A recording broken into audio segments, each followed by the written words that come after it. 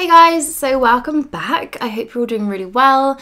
I have something fun to film today that I've been looking forward to doing for a little while now. I've got some new beauty bits to try out today. I know some of you guys are a bit worried that I was going to stop doing beauty videos altogether, kind of going down the route of more style and fashion based videos. I'm still going to do a good handful of beauty videos every so often. So today I have a full face of first impressions, which are my favourite, favourite things to film. I like to sit down and just chat with you guys and try things on like I would do if I was just trying them myself for the first time. So we're to do that. And I have a brand that I'm using today that I'm very excited for. So this month, Flower Beauty have finally come to the UK. I think they've been around for a little while now, a couple of years, and I've always been really interested in trying some bits out from them because they are a brand founded by Drew Barrymore. I am quite a bit of a fan of Drew Barrymore and um, long, long-term subscribers will remember me doing some videos on her makeup looks years and years ago. And then last year, so quite recently, Glamour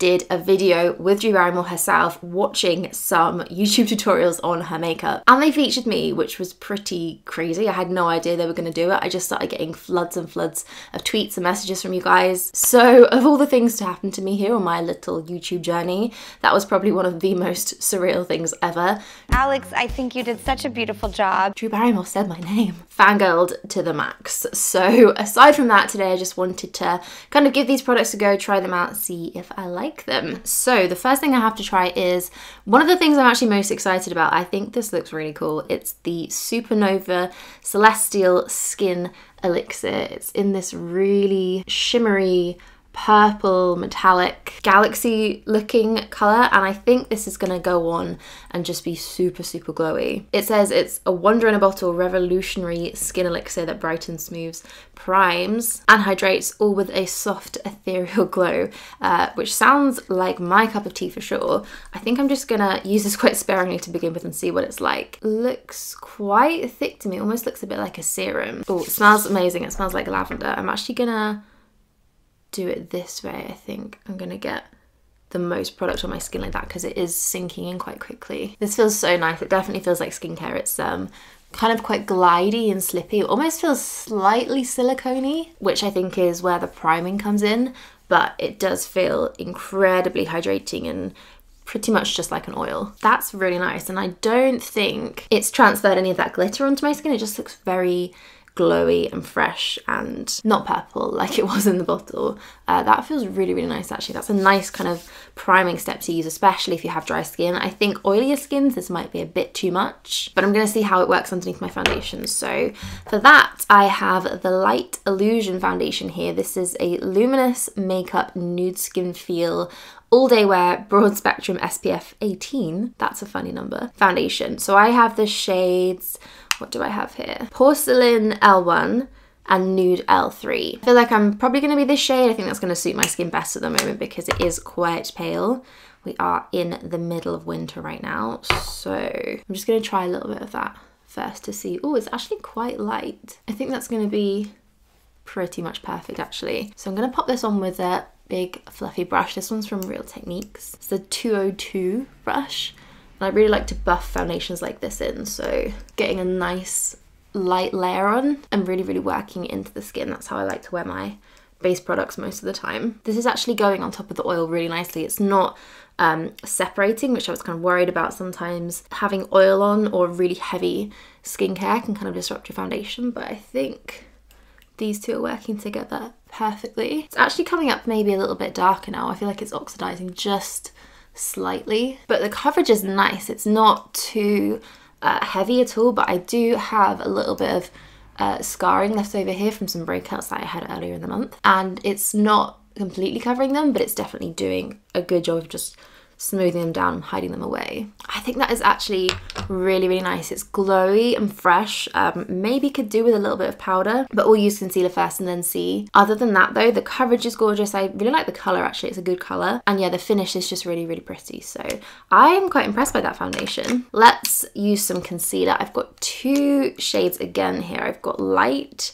and I've got fair. The fair one, which is here, does actually look a little bit too pinky tone for me. So I'm gonna go on with the light. Now I've heard good things about this concealer. I actually really already like the little applicator. It's kind of quite long and uh, slightly angled. And this seems to be pretty pigmented too, but also quite thin. It's not feeling too thick and too heavy. And concealer is a big deal for me, guys. I really feel like I am quite a picky person when it comes to concealers. They are important. I think having a good concealer is sometimes even more important than having a good foundation. So this one is actually going in really nicely. I'm using it with a beauty sponge, which is my kind of go-to method of applying concealer just because I, I feel like it gets a nice even layer, whereas a brush kind of pushes things around a little bit. This concealer is actually coming up quite matte, so it's almost mattifying out my skin in the places where I've put it. I'm going to use it on my chin here and on these little friends that are still on my face. This has actually done a really, really good job of covering. It's pretty much got rid of all the redness and scarring that I had here. I had one here that I've just covered and it also is looking really nice under my eyes. It's definitely covered what it needed to cover and it looks a lot brighter and fresher under there. Almost like it has some kind of reflective pigment in it, some kind of brightening properties, which is amazing. I always love it when I can find a concealer that does both. So that's the skin. I'm actually I'm impressed so far. I'm really liking the way this looks. It looks natural and yet it's still evened everything out that I wanted it to. So let's go on to some of these palettes. I have two here. One is a highlighting palette and one is a contouring palette. Although there is only one bronzer shade in here and the rest looks like a blush and a highlight. So this one I think is all powders. We've got a bronzer which looks like quite a nice light kind of neutral tone. Um, it has maybe a little bit of shimmer in it but I feel like that's not going to translate quite as much when it's on the face. The second colour here is a blush and this is a really gorgeous like bright candy pink and then the third color is a highlight this is a really gorgeous champagne gold kind of highlight um oh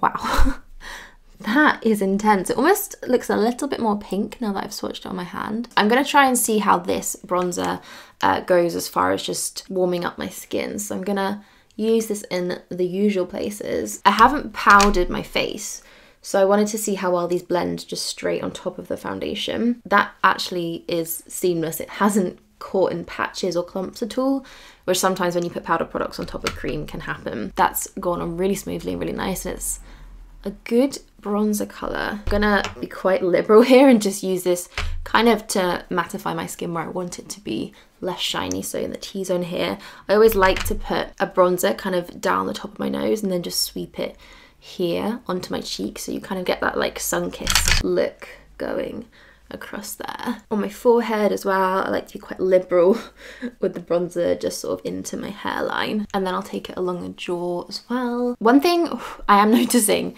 is that these are quite powdery. So as I was sticking my brush into that, there was quite a lot of flaking and fallout on the palette, which is maybe all over my rug now. A little bit messy. Um, I don't know if you can see if I dip my brush in here. Just a little bit of this going on. Just a little bit of this pink blush. I don't want to go too heavy handed with it because it is quite a bright colour but I think just a touch of this is going to be quite nice. I feel like having that pink apple of the cheek is a, a very Drew Barrymore thing so I'm embracing that today. So I do also have this second palette which is just a highlighting palette. I think this end shade here is probably the same as the shade inside this one. I thought this was cream to begin with, but I don't actually think it is. So we've got the first highlighter, the middle one is definitely more pinky toned. And then the third one is more kind of gold.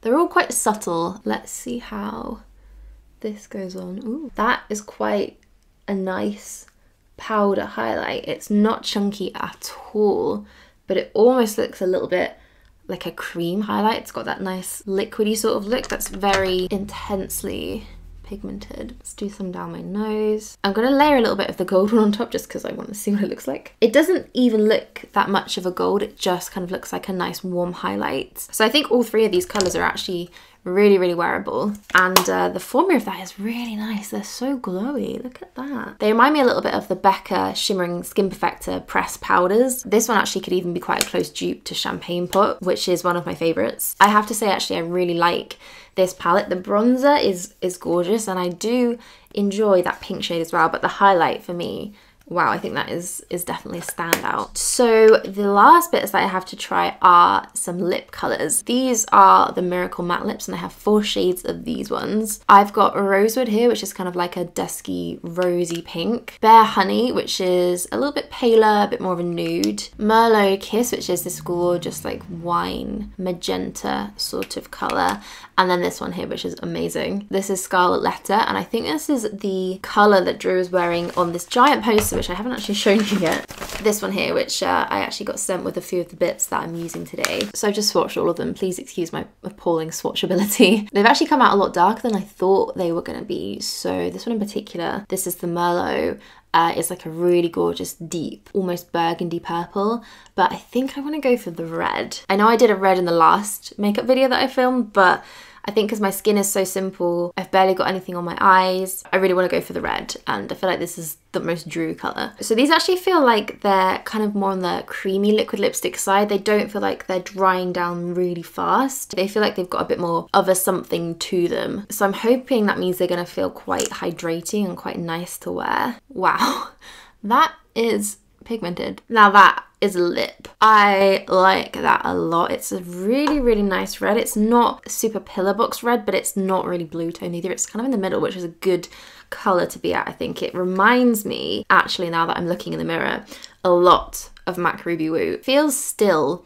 like it's got a bit of moisture to it, but I don't think it's going to go anywhere transfer test, there is a little bit that's just come off of my hand there. So that is the finished look with the products that I have here today. I'm actually Really impressed with everything. There's nothing that I don't like. Love the skin primer. I feel like that's going to be something I'm picking up quite frequently and I'm kind of excited to try it with a few different foundations and base products and see how it looks. Really like the Light Illusion as a base. That seems to be just super even looking on my skin, really natural. And I haven't powdered it. It looks glowy, but not like it's overly oily at all, which is really cool. The concealer was amazing. I think I'll definitely be adding this into my routine for sure. And then the lipsticks, I definitely need to try out more of the shades, but this one I really like. These are actually all available in Superdrug at the moment, so they're really easy to get your hands on. They're drugstore prices, so really quite affordable. And I love the whole concept behind the brand, and obviously Drew being the ambassador just makes me like even more. So guys, uh, let me know what you think if you like this makeup look, if it's something you're going to be trying yourself, and if you've managed to get your hands on any flower beauty bits. Tell me about them, tell me what you like, and if you're from the US as well and you've been using this